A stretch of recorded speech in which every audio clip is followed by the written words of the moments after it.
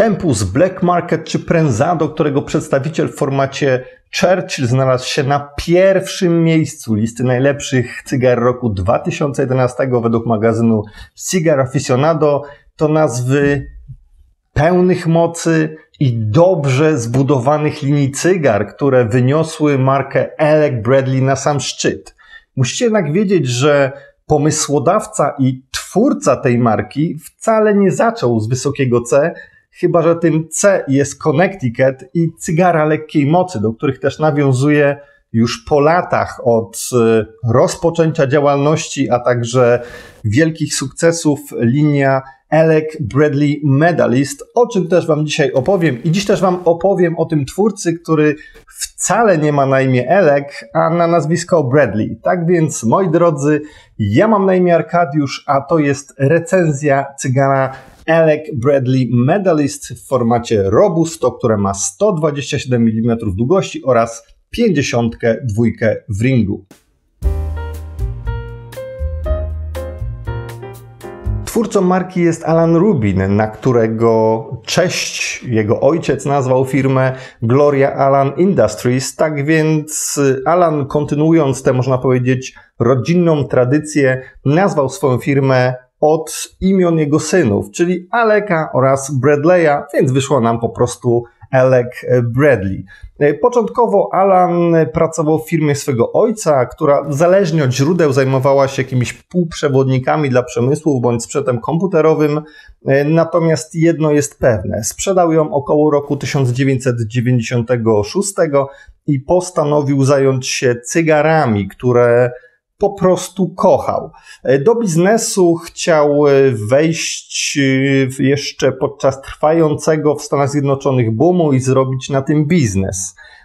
Poznał więc na targach tytoniowych producenta z Hondurasu, była to jakaś ta mała fabryka. No i co się okazało? Zakontraktował cygara i koniec końców sam producent zniknął. I towarek zniknął. I pieniążki zniknęły a Alan musiał szukać nowych dostawców. I tak wreszcie w roku 1997 udało się założyć Alanowi jego pierwszą cygarową firmę.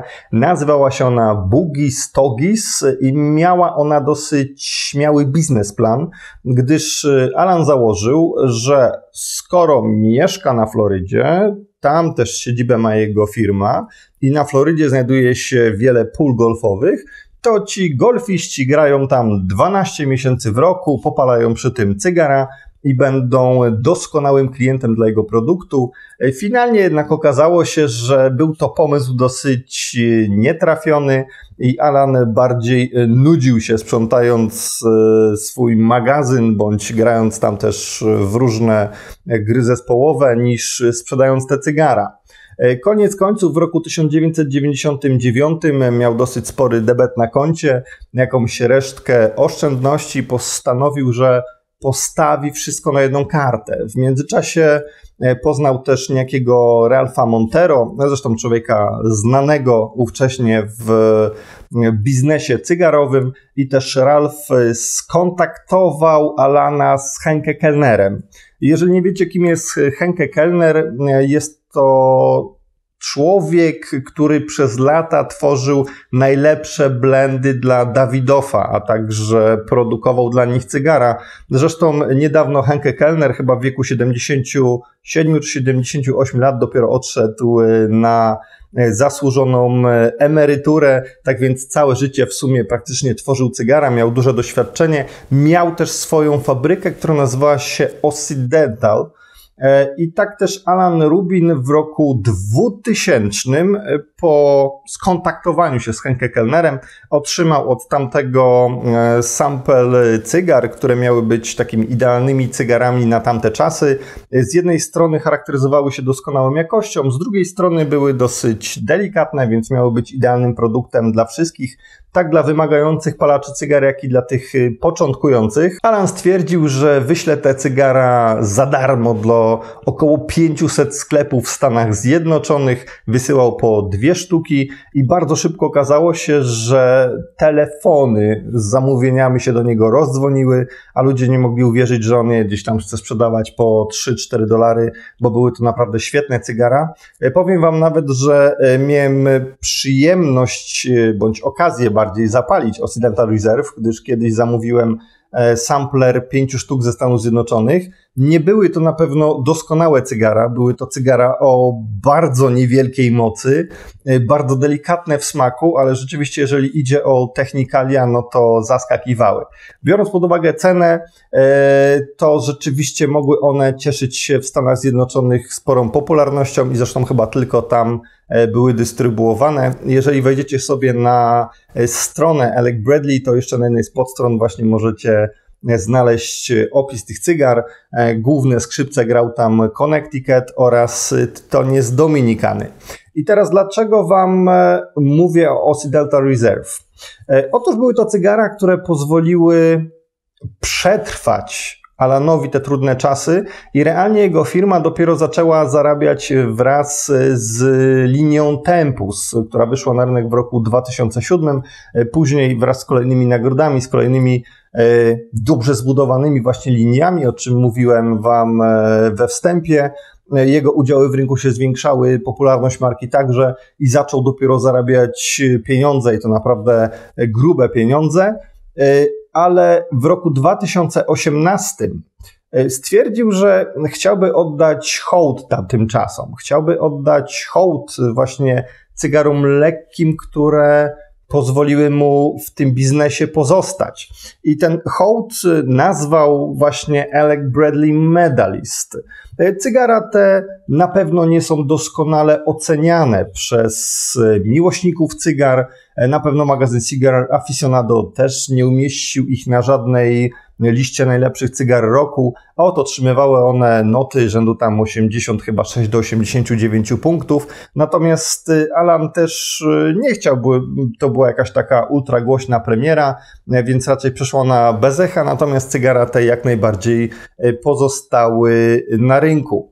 Są to też cygara, które szczególnie w, powiedzmy w naszym takim polskim gronie miłośników cygar są dosyć często hejtowane, że są właśnie o zbyt niskiej mocy, która jest tutaj określona jako lekka do średniej, e, mają lekką budowę i generalnie mówi się, że są nudne i szkoda na nie czasu. Tym bardziej postanowiłem też e, sprawdzić e, jak to się ma do rzeczywistości i dla kogo są te cygara. Mieszankę cygar Alec Bradley Medalist stanowią we wkładce liście z Hondurasu oraz z Nikaragui. Honduraski jest również zawijacz, a także z Hondurasu pochodzi okrywa tych cygar. Jest to e, okrywa typu shade grown, czyli rosła w zacienieniu, e, dzięki czemu ma też dosyć jasny kolor. Jest to kolor takiego młodego orzecha włoskiego. E, bardzo często tego typu okryw używa się właśnie okrywając cygara o lekkiej mocy i lekkiej budowie, ale też nie dajcie się zwieść, gdyż y, można trafić na jasne cygaro o pełnej mocy, ale kiedyś Wam to e, wyjaśnię na nieco innym przykładzie. E, cygara te są ręcznie zwijane w fabryce Tabacos de Oriente, znajdującej się w Danii w Hondurasie i należącej do rodziny Plasencia, e, której cygara zapewne już znacie, gdyż Plasencja od wielu, wielu lat e, jako rodzina nie tylko uprawia wspaniały tytoń, ale również e, zwija cygara pod marką własną, ale także korzystając ze swoich doświadczeń i mocy produkcyjnej, e, również oferuje, można powiedzieć, innym producentom usługę zwijania cygar. Co do mojego egzemplarza, Alec Bradley Medalist, przypomnę, jest on w formacie robusto, w takim nieco grubszym robusto, gdy standardowo robuściaki mają 50 w ringu, tutaj mamy 52. Muszę przyznać, że całość prezentuje się apetycznie, a pierwsze co rzuca się w oczy to ten pierścień, który jest bogato zdobiony, przyjemny dla oka i na pewno idealnie dopasowany do koloru okrywy. To jest właśnie ten Honduran Shade Grown. E, jest on dosyć taki delikatny, wydaje się cieniutki. Jest pokryty siecią drobnych żyłek. E, kapturek nałożony całkiem starannie, może nie idealnie, ale na pewno starannie. Zauważyłem też tutaj przy kapturku takie delikatne e, wgniecenie, e, ale zetnę to akurat, więc w żaden sposób nie będzie mi to przeszkadzało. E, patrząc na stopę cygara, cygaro jest praktycznie idealnie okrągłe, aczkolwiek jak trzyma się w dłoniach, to mam wrażenie, że tutaj po bokach jest nieco spłaszczone. Mam nadzieję, że nie wpłynie to na jakieś problemy ze spalaniem czy ściągiem i wszystko będzie tutaj idealnie. Zapach cygara przed odpaleniem, które też wydaje się być dosyć mocno zbite, mimo takiej można powiedzieć średniej wagi jak e, na ten format. Jest taki roślinny, nieco skórzasty. Tak, mam wrażenie, że jest tutaj skóra, ale taka bardzo delikatna. Jest tutaj nieco też orzechów. No, od stopy jest już bardziej cedrowo, orzechowo, ale na pewno ten zapach nie jest taki szczególnie intensywny, uderzający w nozdrza. E, czuć, że jest to po prostu delikatne cygaro na delikatnych tytoniach. E, egzemplarz ten otworzę klasycznie dla mnie w ostatnim czasie e, dwuostrzową obcinarką Colibri, natomiast odpalę moim nieśmiertelnym trzypanikowym jetem. Jestem ciekaw, czy odpali za pierwszym razem. Tak, udało się. E, tak więc, moi drodzy, nie będę Was e, zanudzał, czas otworzyć to cygaro. Hmm. Ciąg cygara jest, tak jak to zresztą często powtarzam na moich wideorecenzjach, idealny, delikatnie przyciasnawy, czyli tak jak lubię. Na sucho cygaro pozostawiło mi też taki delikatnie orzechowy posmak na ustach, więc możliwe, że smaczek ten pojawi się w trakcie tej oto degustacji, ale klasycznie już nie ma co przedłużać, czas rozgrzać stopę tego cygara. Powiem Wam, że start cygara jest przedziwny, gdyż dym, który z założenia powinien być ciepły, pozostawia mi w jamie ustnej taki dziwny chłód, którego prawdę mówiąc nigdy nie wyczuwałem w innych cygarach. Owszem, zdarzało mi się, że gdzieś e, wyczuwałem taki eukaliptusowy chłód, ale to jest taki wręcz lodowy chłód. No, przedziwne uczucie, ale całkiem intrygujące. E, dym też pozostawia mi w ustach delikatny taki posmak e, nieco opieczonej skórki od chleba, ale tak delikatnie i do tego takich młodych orzechów włoskich, jakby wymieszanych z orzechami laskowymi, więc jest całkiem przyjemnie i lekko tak jak zresztą się e, po tym cygarze spodziewałem. E, co do technikaliów, cygaro odpaliło mi się całkiem równo. Mam nadzieję, że, tak też pozostanie do samego końca. E, popiół jest dosyć zwarty i też mam nadzieję, że taki pozostanie. Biały z odrobiną szarości i jest tutaj też nieco czerni, ale można powiedzieć w takiej formie wręcz szczypty, jeżeli idzie o kolor i o ile można co do koloru powiedzieć, że jest czegoś szczypta. Ale już nie będę rozmyślał, nie ma to jak najmniejszego e, tutaj sensu. E, co do jeszcze dymu, bo też do niego wrócę, jest on e, bardzo ulotny, więc dosyć szybko rozchodzi się w powietrzu i w sumie widzę, że właśnie wylatuje przez otwarte okno, tak więc myślę, że jest to idealne cygaro do palenia w pomieszczeniu zamkniętym. Ja sobie palę dalej i klasycznie widzimy się w pierwszej tercji. Pierwsza tercja Alec Bradley Medalist jest niezwykle spokojna, ale ale powiem Wam, że całkiem przyjemna. Mniej więcej po około wypalonym centymetrze, zresztą cygaro można powiedzieć oznaczyło ten moment pęknięciem popiołu w tym miejscu i delikatnym wystrzępieniem go. E, ta nuta taka lodowa, można powiedzieć, ta taka orzeźwiająca, ta chłodna, która była obecna zaraz po rozpaleniu cygara, nagle gdzieś się wycofała, zniknęła, natomiast w to miejsce pojawiła się taka nuta y, cytrusowa, delikatnie kwaskowa, ale w żaden sposób nie kwaśna, całkiem przyjemna, orzeźwiająca. Otula ona też y, taki miks orzechów, które są troszeczkę poza tę nutę, można powiedzieć, wycofane. Wyczuwam tutaj również ciastka maślane. Generalnie jest dosyć przyjemnie, lekko, idealnie na ten wieczór. Zresztą powiem Wam, że dzisiaj miałem bardzo pracowity dzień i można powiedzieć, że to cygaro póki co jest takim idealnym zwieńczeniem tego dnia. Ale oczywiście też nie mogę chwalić zarazem dnia przed zachodem słońca i już mówić, że cygaro będzie świetne, bo równie dobrze za jakiś centymetr może skwaśnieć bądź zrobić się gorzkie i będzie zwyczajnie nie do wypalenia i niestety tutaj się dosyć nieprzyjemnie zdziwię, dlatego co by też nie zapeszać, tu już skończę opis moich zachwytów. Co do technikaliów, jak widzicie, linia żaru nie jest idealna. Mam tutaj taki minimalny cypel, ale nie jest on jakiś rażący w oczy i wierzę, że za chwilę całość się tutaj sama wyrówna. Prawdę mówiąc, ani razu nie interweniowałem tutaj zapalniczką. Popiół biało-szary cały czas, mimo pęknięcia, dzielnie się trzyma. Jest przyjemnie dla oka, przyjemnie smakowo, czego chcieć więcej. Dym unosi się delikatnie w kierunku okna, więc nie zalega, nie siedzę, nie łzawie, nie kaszle. No jest to naprawdę takie fajne, wieczorowe cygaro, przynajmniej póki co. Ja sobie, moi drodzy, palę dalej. Klasycznie widzimy się w tercji drugiej. Cytrusy, nieco takiego suchego, dębowego drewna, odrobina wanilii, nieco roślinnej nuty, a także szczypta pieprzu na końcu języka, to to, co w drugiej tercji pozostawia mi dym Alec Bradley Medalist w ustach, a także na języku. Kiedy wypuszczam dym nosem, wyczuwam też taką słodką, nieco cedrową, przyjemną nutę. Smaki na tę chwilę ma, są na średnim poziomie intensywności. Mam też wrażenie, że moc cygara zaczęła wzrastać do średniej, mimo że jest to z założenia cygaro lekkie, ale też doczytywałem, że dochodzi tutaj do tego poziomu medium, jeżeli idzie o swoją taką pełnię oraz oczywiście mm, moc. Spalanie cały czas nie jest idealnie, może nie jest jako linijki, ale w sumie nie mogę się tutaj niczego doczepić. Popiół, jak widzicie, całkiem dzielnie się trzymał, mniej więcej do około 2,5 cm długości. Później odpadł, kiedy odkładałem to cygaro do popielnicy. Obecnie też pojawiło się tutaj pęknięcie. E, możecie też zauważyć, że zdjąłem pierścień cygara.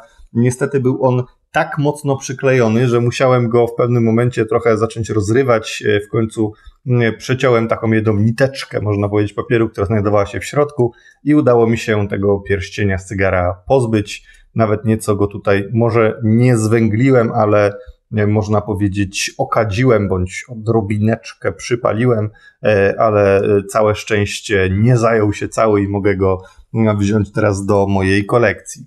Zwiększyła się też w drugiej tercji na pewno ilość produkowanego dymu. Ten staje się teraz coraz bardziej też gęsty. Zresztą zobaczcie sami.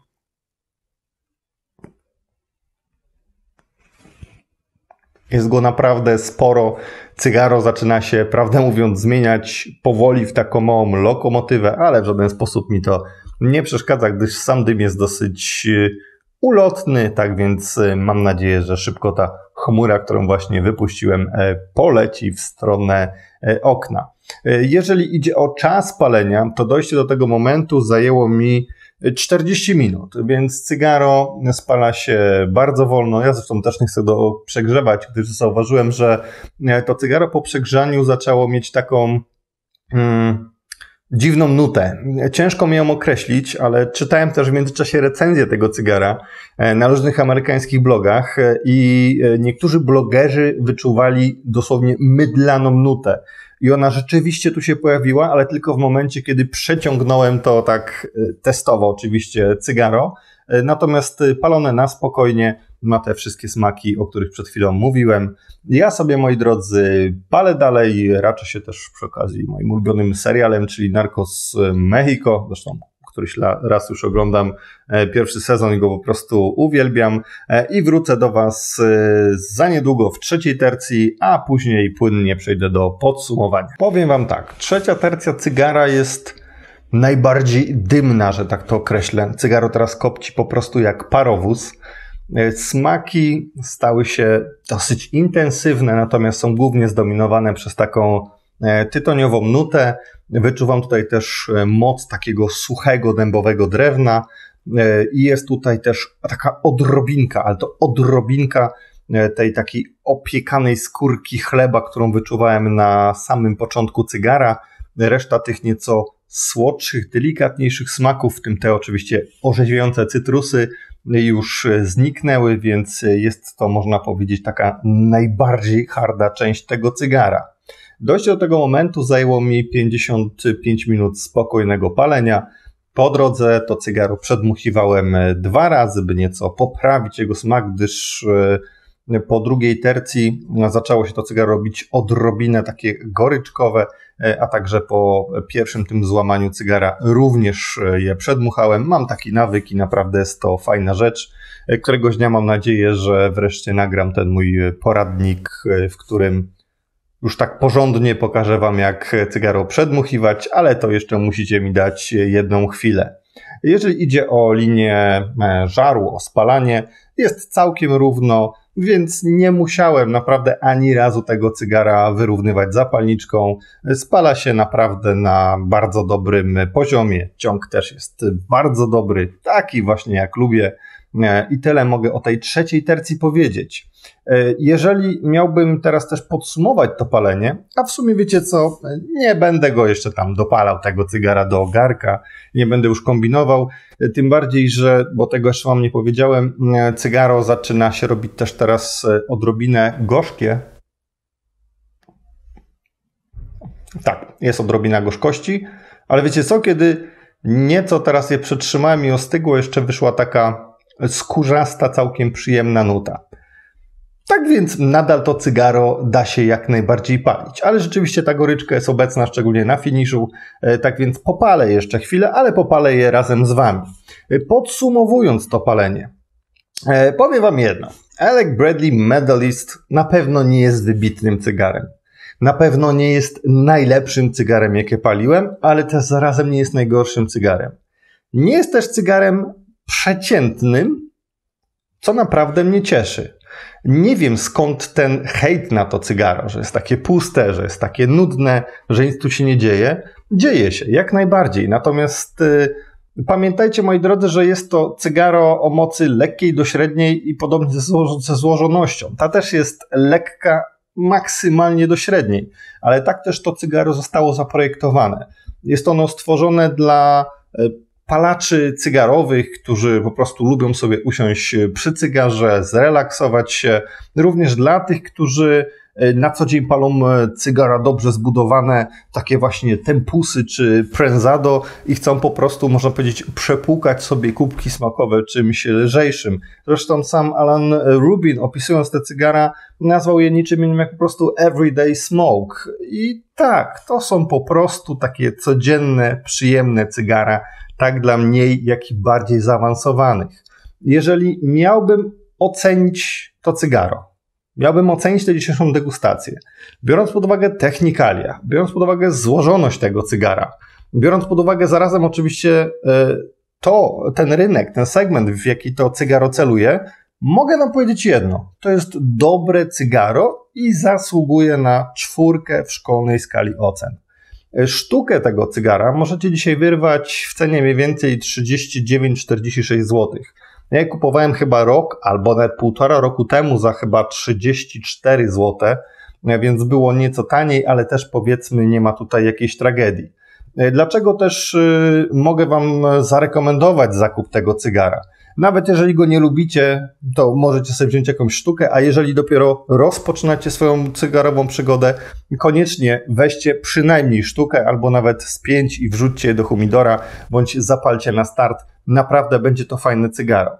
E, mówię o tym, żeby je zakupić, dlatego że jeżeli wiecie albo nie wiecie, w tym roku, e, w sumie chyba to był luty 2023, bo w tym roku właśnie nagrywam.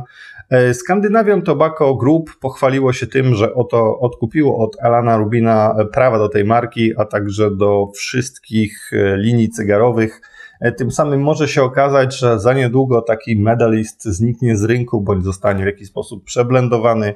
Nie wiadomo też, co stanie się z pozostałymi cygarami z marki Alec Bradley, a także cygarami Elec and Bradley, bo musicie wiedzieć, że synowie Alana również są aktywni, jeżeli idzie o e, tworzenie cygar.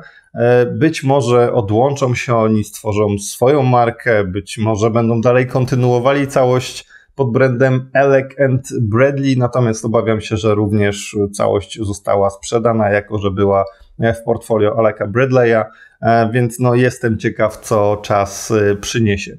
E, powtórzę jeszcze raz, 4 na 6 możliwych w skali ocen, tak więc czwóreczka, śmiało możecie te cygara zakupić.